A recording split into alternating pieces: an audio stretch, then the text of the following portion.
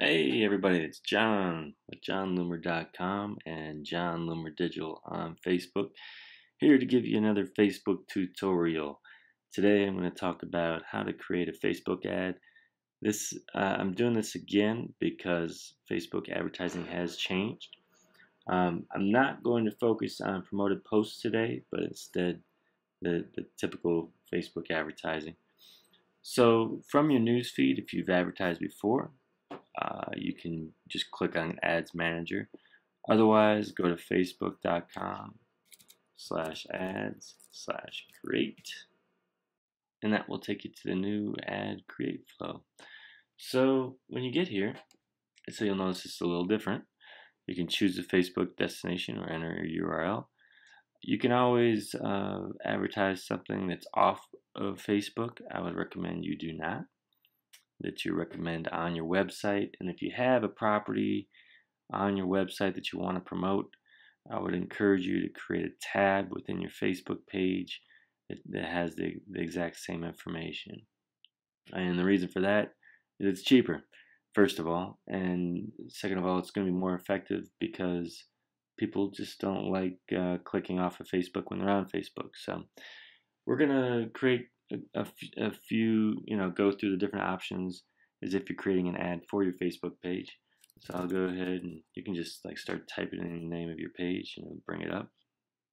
So keep in mind if you have any questions, you can hover over the, these question marks and it'll tell you exactly you know what it is you're looking at.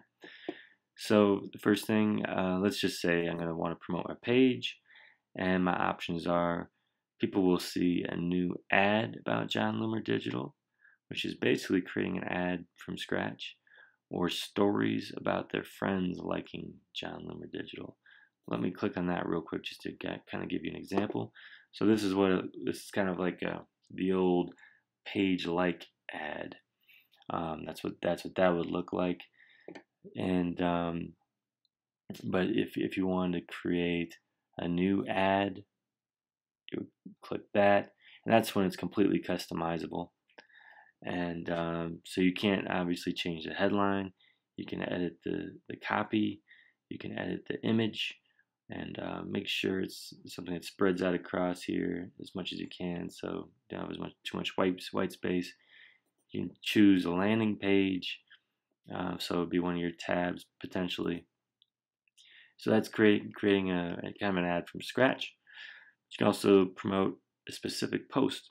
Now keep in mind, in most cases, if you're going to promote a specific post from this new ad create flow, you should be targeting non-fans. And the reason I say that is because if you're going to target your current fans, you should be using the um, the, the promoted post option directly from your timeline.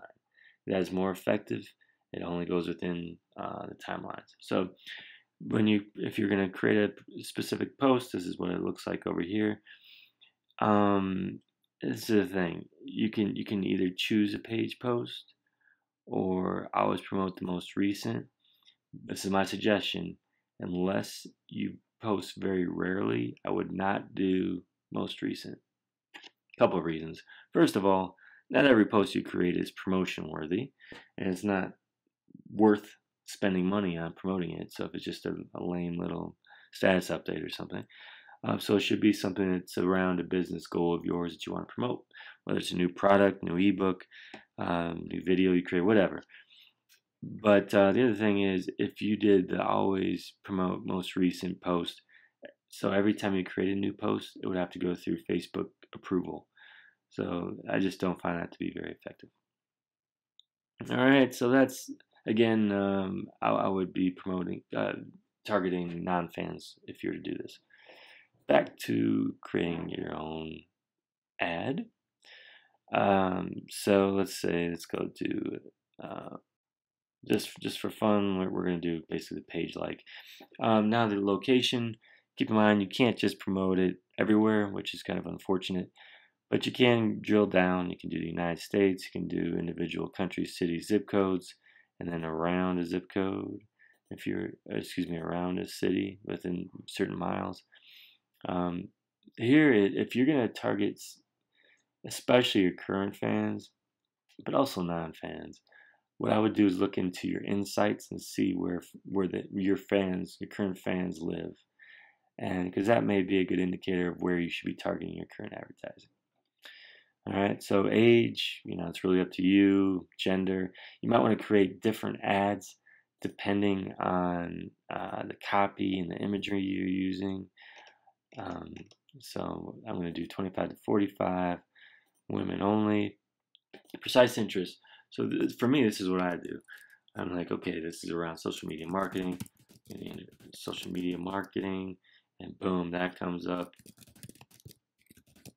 Just I just keep typing, that comes up. Best practices. So all these things come up, and you can just keep going on and on and on. And then as you keep typing in more, the audience will continue to expand. I mean, look at all these. You can continue to, to pop in there. I'd also put in things like Mashable and anything that's related to social media marketing types of sites that people would be looking for. And then they give you suggested likes and interests, interests as well. You can also target broad categories. Let's say if I want to go business, business and technology and um, small business owners. Keep in mind when you do that, even though that's broad, basically now what you're doing is your broad category and the precise interest. So I generally do one or the other. Uh, going down, again, uh, you know, connect.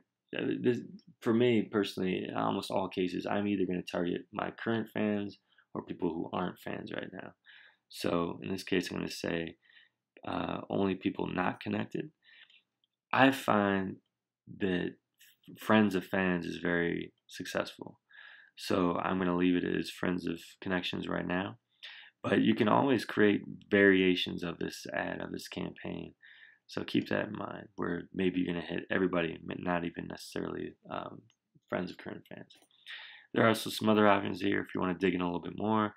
Um, interested in keep it. I mess this up one up a lot. Sometimes I think it's I'm just targeting either all men or women, and then I'm like, oh, I want to target men, not realizing it's actually interested in. So keep in mind, keep that in mind. Relationship status, languages, education. This is a big one, depending on uh, your your target audience and where they work. now, now, this is a new, big new one here, the objective. So let's say you want to target people, um, again, non-fans. You're looking. Your objective is to get them to like your page. So let's hover over this objective. Set your objective so that your ad or sponsored story will automatically show to the people who are most likely to take the action you want.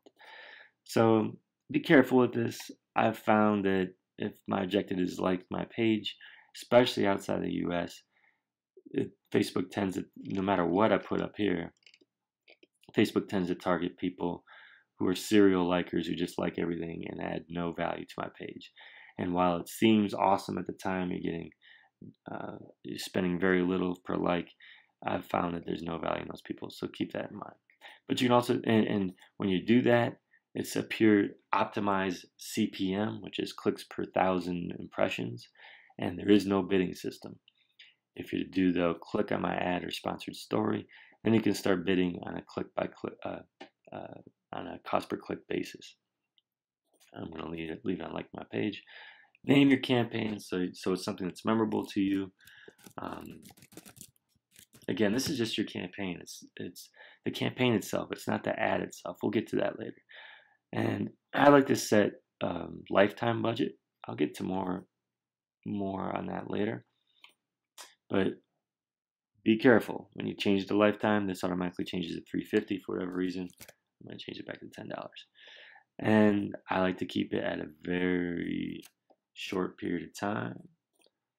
I'm just gonna do it a day, and I'm all ready to go. Again, I, I would I would have an audience much larger than this. I would put in more interest, but it's just for example purposes. Place the order.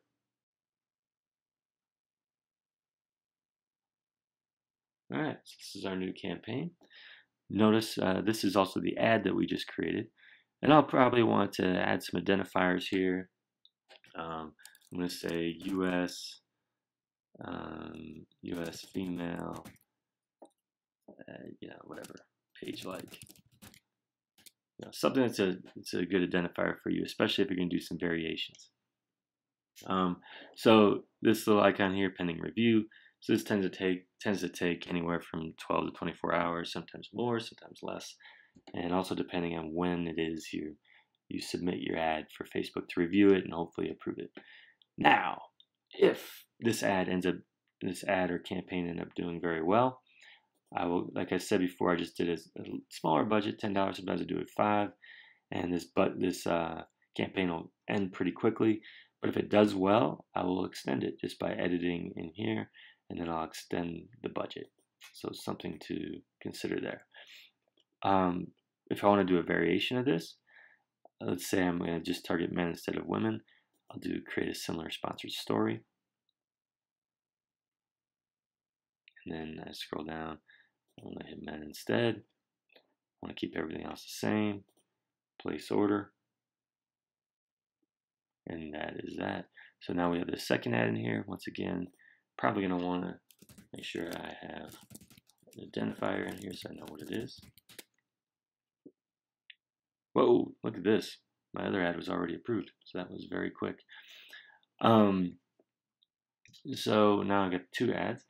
It's something else to, to consider. If one ad is doing really well after a day, one is not doing well, you can always pause one of them. So I'm just going to go ahead and pause that one. And that is that. So that's a real quick tutorial on how to create an ad or sponsored story on Facebook. For more tutorials like this one and for more Facebook marketing tips, go to facebook.com slash jonloomerdigital or jonloomer.com. Thanks.